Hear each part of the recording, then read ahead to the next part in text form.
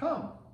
This is Lucy, who is a very fearful dog, and uh, she has a really bad case of separation anxiety. In this video, I'm gonna go over some tips that you can use if you have a dog that has separation anxiety, as well as my method of fixing it. So I see, you see she's finally interested. She got some treats here. Okay, so she probably, I'm probably just gonna pantomime this in the video and we'll work on this afterwards. Uh, so we'll just go and keep, we'll, we're gonna keep filming so you can watch this later on. Okay. So uh, first thing when it comes uh, to dogs with separation anxiety, I'm gonna move my knees because if I stay like this forever, I'm old, I won't be able to walk later. So um, separation anxiety is essentially a panic attack that the dog goes into when left alone. Some dogs need to be with anyone. Some dogs with separation anxiety, with separation anxiety have to be with one specific person. Now she's a rescue dog. She's only been here for uh, about six months? Three months. Three months. And so her guardian, uh, she spent most of her life in a kennel early on, and so she's very fearful of the kennel and she will escape any kennel. Now I can show the guardian how to keep her in there, but the guardian's come up with a solution where she just has free reign in the house and she doesn't destroy things. But it's still not healthy for her to be in that panic state. So separation anxiety is uh, basically something that dogs see coming a mile away we go through, we have uh, rituals that we do before we leave for work. We put on a work uniform or certain clothes. We sit in a certain chair and put our clothes on. We put, I put makeup on.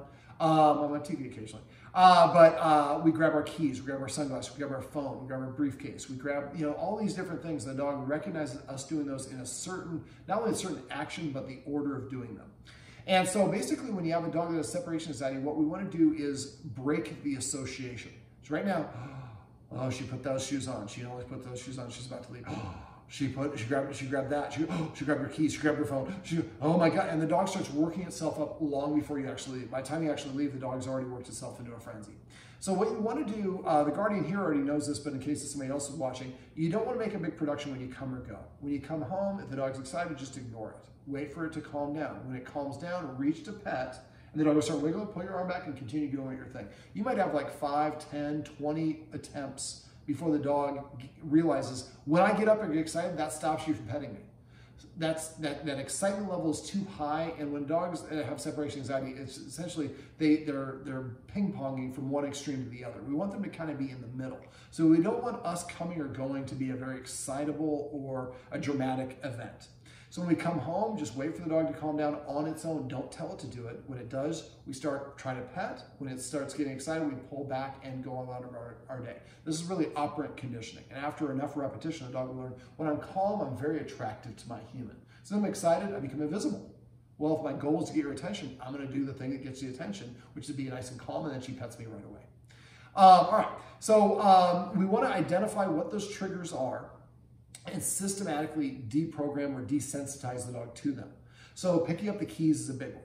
So for a lot of us, we as soon as the dog hears our specific sound of the keys, and you can't see her because she's behind the camera, but her ears just went up and she her head sat up. So what you want to do is go where your keys are, pick them up, and then put them down and walk away and do something else. Uh, you get up on at the time you normally get up for, I know this kind of sucks, I really like sleeping in, but get at the time you normally get up for work on the weekends. Get up, shower, go through your ritual, and then after the shower, you get to go lie back in bed. Or, you know, get dressed and then you'll lie back in bed. Um, it's not all necessarily, we're not doing all of them in concert. At first, we just want to pick up the keys, put them down, and then go walk away, go to the bathroom, come back, pick up the keys, walk them down. It's a numbers game. So you want to do this over and over until you pick up the keys and I was like, mm, well, big whoop. It doesn't associate you leaving. So after a while, you know, so make a list of all the things when you're getting ready for your work. Kind of keep your phone out or keep a pad of paper. As soon as you see the dog kind of pacing, licking its lips, perking up, paying attention to you during things, those probably what we call triggers. Those are some triggers that are associated with you leaving. So you want to make sure that you manage and, and, and engage in those behaviors as often as you can, independent of you leaving. So once that's the first stage is so the dog doesn't recognize that we're leaving. And when we do come, when we leave, don't be like, "You'll be okay, buddy? Hang in there. I'm gonna go to work." We should be like, "You little ingrate. You gotta sit home and sleep for 10 hours. Why are you go home and bring home the bacon?" So we're not. I mean, obviously being a little facetious, but um, it's the dogs usually are gonna sleep most of the time that we're gone. So don't feel bad when you're leaving. Now, fortunately, we haven't put her. Uh, the guardian here is not putting her in a kennel. Uh, and a quick note on this: any dog, whether it's an adult, puppy, or whatever if they're in a kennel for longer than four hours, it will release cortisol, the stress hormone, into their blood. Now it's a physical manifestation as well as psychological. I've had clients whose dogs literally are breaking teeth trying to get out of kennel. I know a couple dogs that have passed because they get caught, kind of what you saw in one of the pictures the Guardian showed me. So fortunately, when I use this, we have it here. And a little trick for this is I would probably pull out, well, the color of your dog blanket is not ideal. I, dogs are colorblind, so I like everything to be a light color. So if I leave a dog treat right here, it's kind of hard for you to see with the camera. But if I leave it right here, you can see it because it's on white. So I would get like a white bed liner that you can put in there, and I wouldn't put all, a whole bunch of other stuff. The leash, is she also fearful of the leash? She loves her leash. She loves her leash. Okay, so the Guardian's trying to create positivity. So what I would do for that, what we do um, in our puppy classes, is we actually have everything out of the kennel. We have just a white floor. We close the kennel door, and we show the dog these delicious treats, and we start dropping the treats into the kennel with the door closed. Oh, shoot, that's the opposite. Normally I want to get out of the kennel. Now I kind of want to go in there. There's good treats. So what we do is we, we uh, grab a fiver and we wait for the dog to start pawing at it. And when it does, we open the kennel and we come up with a new command word. Every time the dog licks up the treat, we say palace or mansion or beach or whatever the word is. And the dog gets it going, get them out, and then runs out. And the next step is I just throw the treats in and out until the dog goes in and out and then starts lingering in there. Anytime the dog's out uh, doing bathroom, well, the guardian here has to kind of go out with her. But if you have a friend or somebody, leave a treat in there. Anytime she gets a new bully stick or a new toy or anything, that's where she should find it. Lot of times I'll take a bully stick and I'll drill a hole through the end of it and I'll zip it to the bottom of the kennel, one of those bars. So the only place I can eat this is in there. So what we're looking for the dog to do is go in there and practice having good things happen. Now the guardian here is not that worried about a lot of people use, uh, watch my videos for other uh, other people that haven't met you, so I try to make it as incomplete as, as complete as possible. So the idea is we want to take away the stigma so that's no longer a negative. The dog actually goes in there and hangs out there on, on their own. Uh, now, in her case, you're probably not going to need it, but just for uh, so you know. Okay, so basically, um, the way that I have found to help dogs get over separation anxiety is the reason dogs panic is they're going through the biggest gulf that there possibly is. There's no bigger range than from one, zero to 100 if you're on a 100% scale. That's the biggest extreme. And that's what we do. We're home with the dog, we're at 100%. Then we leave and we go to 0%. There is nothing in between. So the guardian here, I already asked, a lot of my clients kind of look at me a little funny, um, if the dog follows them into the bathroom and they go to the bathroom, because a lot of people we do. Well, now the dog doesn't have any practice on being alone. So we have to factor and build this in. And a great way that I find to do that is teaching the dog to stay. Now I teach the stay in what I call the three Ds. Most people try to do it as three times as hard as it needs to be. Stay, and they take a step back. Stay, take another step back. Stay, well, I'm saying stay, stay, stay, which is not a true stay. And now I'm doing distance and duration and distractions all at the same time. Three times harder than it needs to. So I'm going to pantomime. I'm going to pretend my bag here is an invisible dog or is a, is, we're a pretend dog because she's on the couch and she doesn't want to engage with me. But we'll do this off camera with you so that you can kind of go through it. So what I like to do is I like to be engaging in the dog. So I like to be at the dog's level. The dog doesn't have to sit, but I usually try to put him in a sit or an LAY. Now, if they prefer, if you're starting to sit and they go to an LAY, then just start at an LAY. Um, and the book says that the dog just has to stay in the location. Now, I do this professionally, so for my dogs, if I put you in a sit stay, I want you to stay in a sit. If, uh, but technically, if the dog's sitting and then lays down and then gets up but stays in the area, that still is one sit, one stay, excuse me, as long as they don't try to move away. So uh, my puppy quest, I'd spend one week of doing one second stays. We think it's super duper easy to stay when I just stay there. There's like, but wait, I smell the treats. Why are you not giving them to me? What do you want? You want to shake? You want me to dance? You want me to lay down? You want So they go through what I call their bag of tricks. So the first D is duration. We want the dog just to practice for duration only until they can stay for three to somewhere between three to five minutes with you right here. So if this is the dog, I'm gonna, first of all, have all the treats in one hand. I'm gonna have more treats in my hand than I plan on practicing. Now you also need to have a release and a stay word. Stay is pretty ubiquitous. I have four dogs and each one of my dog has its own unique command word to release. Release, break, freedom, and parole. I like fun command words. So this way I can have, I can say stay, and I can say parole, and just max comes. So it becomes more powerful if you do it that way. So you want whatever your, your release command, I'm going to show you here in a second. So basically, I'm going to have a treat in between my thumb and forefinger like this. I'm going to either have it at my hand, my side, or behind my back if the dog is really targeting that hand. So what I'm going to do is I'm going to give a stop sign. I'm to give. I always like to give a, a, a hand signal as well as the verbal. Dogs usually learn from the hand gesture first, then the verbal comes later. So when the dog, I wait for the dog to look at me and I say, stay. Now, if you look at my hand right now, it's halfway distance between my face and the back. Most, if this is the dog's face, this is why most people say stay. Stay. Well, I don't want to have a hand in my face. So punctuate it halfway distance, and when you get to the end, say stay. Then pull your hand back to your breast, count to one, then deliver the treat like this. So the treat is going into the dog's mouth, and here my hand is also in the stay position. So it becomes associated together. So I want you to think of each stay as a cycle. There's a start to the cycle and an end to the cycle. Then you have a decision to make. Are we practicing again or are we done? So I'm going to show you three. I'm going to do a two, five, two, four, and six second stay, and I'll show you the release. So I have the hand, the treat ready. Stay, one, two, and I'm only counting out loud for the video. You should count your head and always count all the durations or use a stopwatch. All right, so let me start again. Stay, one, two, stay. That ended the cycle. Now I start a new cycle. Stay. One, two, three, four. Stay to complete that cycle. Then I start the last one. Stay. One, two, three, four, five, six. Stay. And remember, the treat goes to the mouth first, then they hear the command word. Then I'm, I'm ready to release the dog. I go like this. The dog's looking at it. I throw a treat there. The dog takes has to take at least one step away to get it. When it licks it up, I would say the word release break, freedom, parole, whatever the word is you want to use, holiday, vacation. There's no right or wrong word. So the reason we throw that treat is to get the dog moving away. So that puts in context moving away. Stay is also in context, but the dog doesn't understand it because I'm, I'm just sitting here. And like I said, if your dog gets up or starts pawing at you or doing other things, back up. So if I go stay and I go one, two, and at three, the dog gets up, I didn't know where I'm at the count. And next time I would say, I wouldn't pay for that because he didn't do the job I wanted. I'd say stay, and maybe one second, stay. And there's nothing like I said I do with one, my own personal dog for one week. Stay, stay, stay.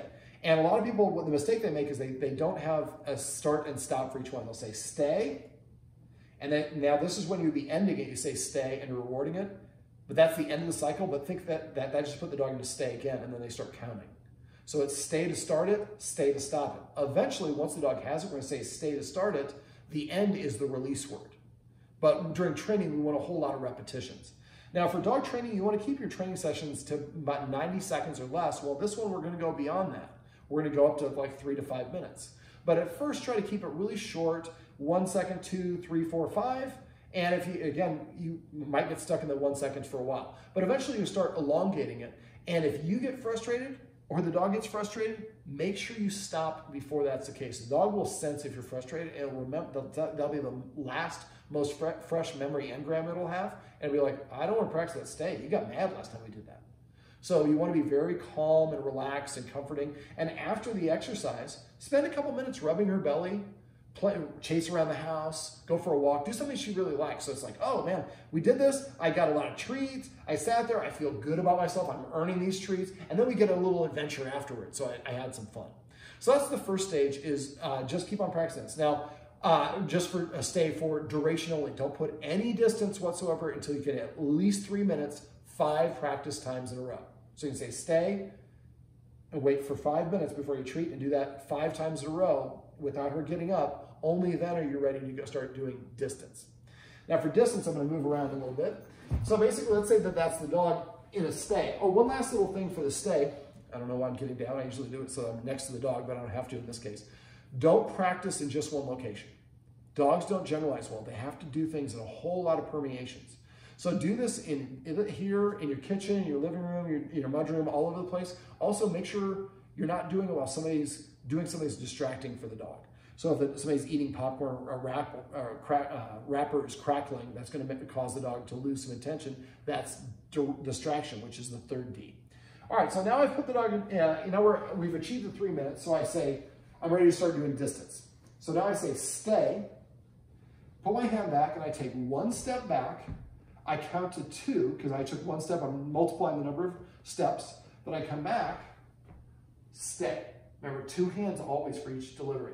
Then I start again, stay. And I probably go back and count to one, uh, count to two again. I do this two or three times until the dog seems to be okay. Because when you start moving away, a lot of dogs will come towards you right away. So if you have to, if you have that happen, do a couple stays for duration first, and then stay, take one step back, and then come back, boom, stay. And at first it might not be really a delay. You're just kind of rocking back and forth with the dog staying there. And eventually you get to one second consistently, then you can go to two. I usually go by one second intervals until I can get to 10 seconds. So I'm walking away, one step, one, two, treat. Then uh, the next time I went one step, one, two, three, stay. So do that and you can, I'm giving you really specific, but you can kind of play around with the elements. If the dog gets up and moves away, it's what we call an auto release. That it's a failure, it should not get paid, and then you should be uh, counting in your head and backed up to whatever that interval is before that you had a success. Back maybe one or two seconds behind that, practice a couple times, and then work your way back up to where the dog failed before.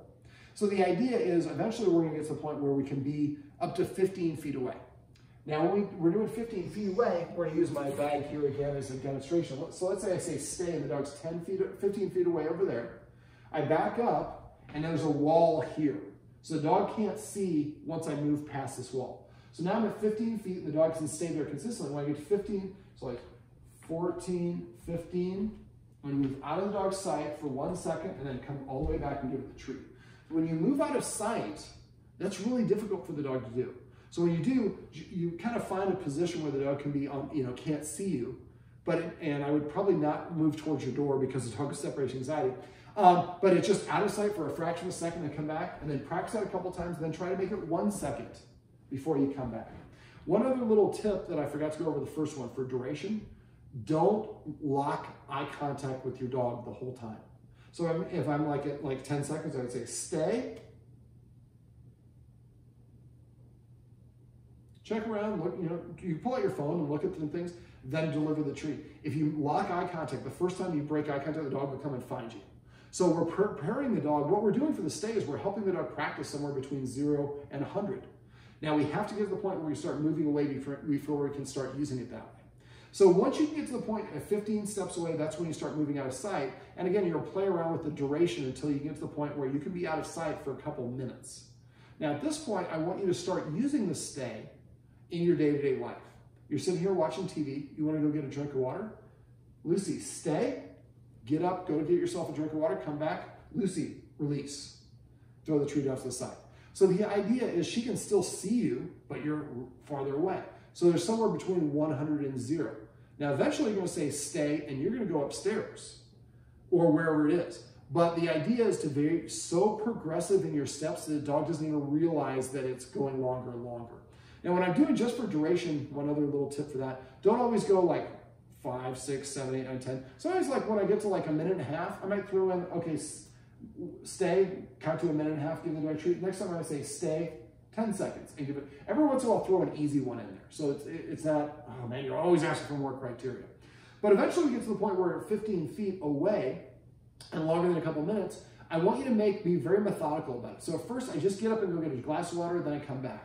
Then I go make a sandwich and I get back. And then eventually I'm going to the bathroom and closing the door. And eventually I'm going to change clothes. I'm going to the garage and checking things. But these, each one of these should be very small. And you have a security camera so you can actually watch your dog on the phone when you actually leave. Your dog gets up, you have to know where you're at your count wise and practice again previous to that. So a lot of times I find having a, a, a smartwatch or a smartphone, starting a timer, once you get to the point where it's a minute, you don't be counting over and over, you, you get distracted and lose it. So you can always look at your watch, okay, uh, 37 seconds. So you need to back up and practice at 33, 34, something like that. Eventually you get to the point where you can, uh, eventually you would add in distractions. Distraction would be have somebody eating the chips or crack with a crinkly wrapper while you're practicing this. But that's not that important for this. We just want to get to the point where we can have the dog stay while we leave and go outside of the dog's line of sight. Eventually, we'd like to get to the point where you can put the dog into a stay, come in here and watch TV for like a half an hour, and then go and release the dog from the different room. Now, these are all just to help the dog practice being calm while it's not in your immediate presence and gradually lengthen it. So now when we actually leave, we're not going to put our dog in a stay because then they would auto release. What we're going to do is we're just preparing and helping them practice being calm. If a dog practices pacing around being anxious when you're gone, that's what it's practicing, anxiety. So the whole point of this is the dog is very calm because you're not actually leaving the house. It's somewhere between zero and 100. Now, once the dog, we can get to the point where, and the longest you would ever have to practice for any exercise for a dog is two hours. Once a dog can do something for two hours, you never have to practice beyond two hours. I don't think that you're gonna have to go to two hours. That'd be very long. But you want to get to the point where you can put the dog in a stay and watch a TV program for half an hour or longer, and the dog stays there and it's calm and in the same spot. And again, you can watch in security camera. So the next stage is now that we've prepared and helped our practice, and this is probably the case of a, a course of over, uh, depending on how often you practice, uh, a, a month or two. Now, when you're practicing, I usually recommend practicing about 50 stays a day.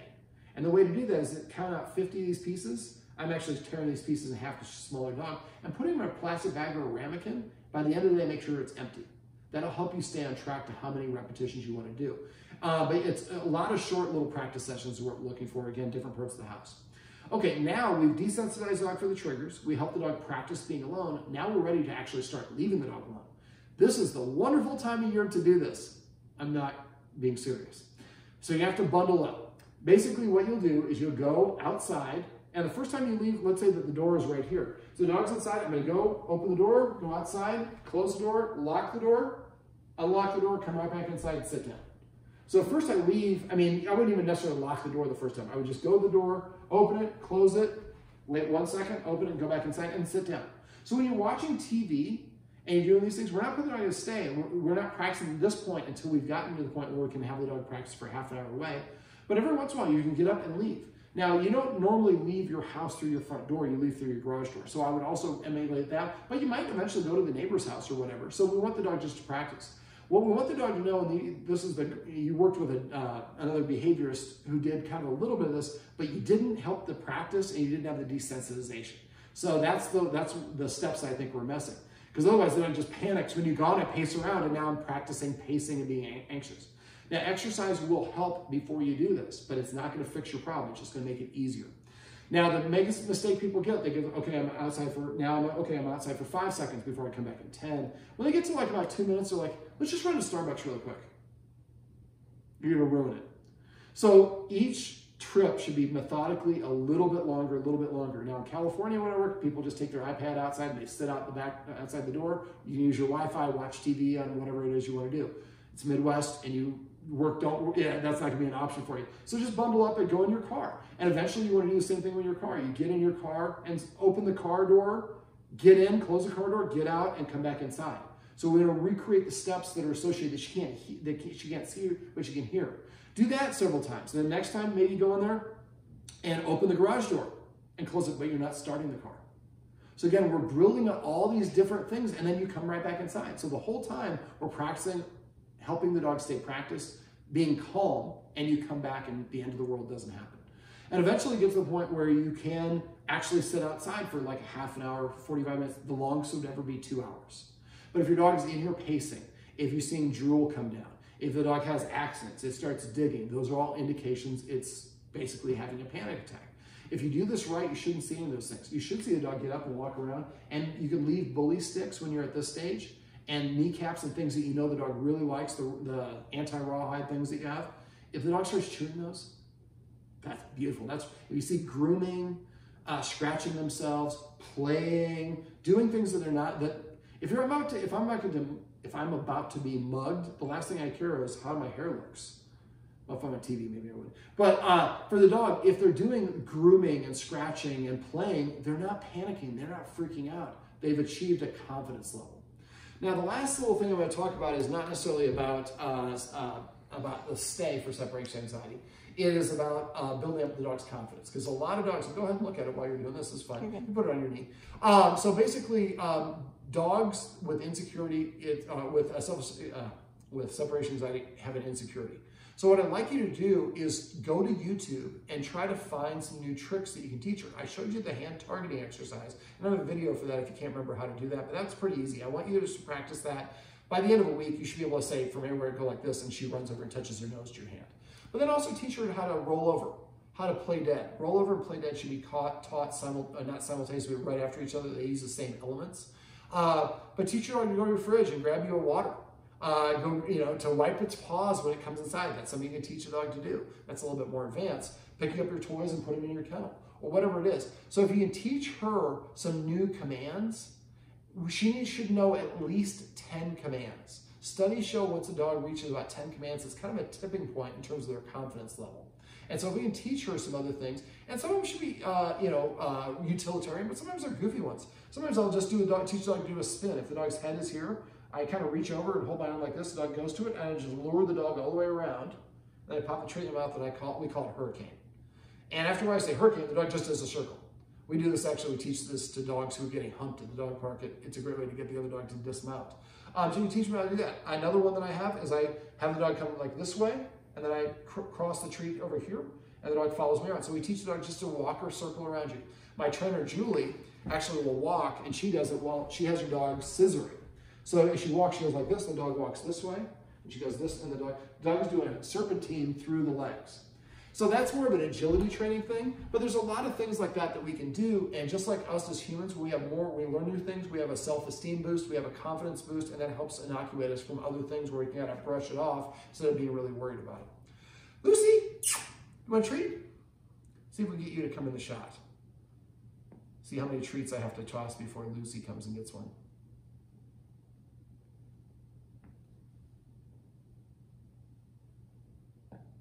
Oh, that was almost on the couch. I'm intentionally throwing it poorly so it's not on the couch. Nope. Well, when you have a dog like this, we want to kind of create a scenario where she can come and good things happen. But if she doesn't want to come, that's fine. One last little bonus, I know this is a really long video, but when you have friends come over, she's aloof. Give them all these really good treats and have them just toss it on.